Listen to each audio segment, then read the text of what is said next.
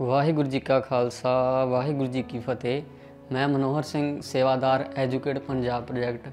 ਆਪ ਸਭ ਸੰਗਤਾਂ ਨੂੰ ਦੱਸਣਾ ਚਾਹੁੰਦਾ ਹਾਂ ਕਿ ਐਜੂਕੇਟ ਪੰਜਾਬ ਪ੍ਰੋਜੈਕਟ, ਜੋ ਕਿ ਲੋੜਵੰਦ ਪਰਿਵਾਰ ਦੇ ਬੱਚਿਆਂ ਦੀ ਪੜ੍ਹਾਈ ਲਈ ਮਦਦ ਕਰਦੀ ਹੈ, ਭਾਈ ਸਾਹਿਬ ਭਾਈ ਜਸਵੀਰ ਸਿੰਘ ਜੀ ਖਾਲਸਾ ਖੰਨੇ ਵਾਲੇ।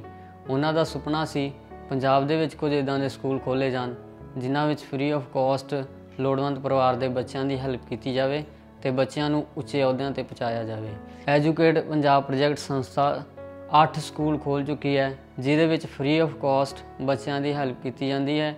ਬੱਚਿਆਂ ਨੂੰ ਪੜ੍ਹਾਈ ਦੇ ਨਾਲ-ਨਾਲ ਪੈਨ ਪੈਨਸਲ ਯੂਨੀਫਾਰਮ ਬੁੱਕਸ ਵਗੈਰਾ ਸਭ ਕੁਝ ਫ੍ਰੀ ਆਫ ਕਾਸਟ ਦਿੱਤਾ ਜਾਂਦਾ ਹੈ।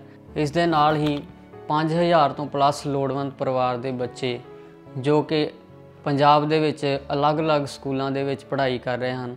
ਉਹਨਾਂ ਨੂੰ ਸਕਾਲਰਸ਼ਿਪ ਦੇ ਕੇ ਪੜ੍ਹਾਈਆਂ ਕਰਵਾਈਆਂ ਜਾ ਰਹੀਆਂ ਹਨ।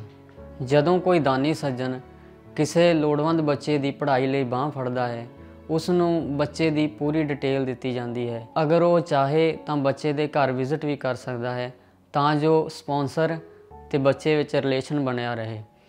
ਐਜੂਕੇਟ ਪੰਜਾਬ ਪ੍ਰੋਜੈਕਟ ਸੰਸਥਾ 100% ਟਰਾਂਸਪੇਰੈਂਸੀ ਦੇ ਨਾਲ ਕਾਰਜ ਕਰ ਰਹੀ ਹੈ।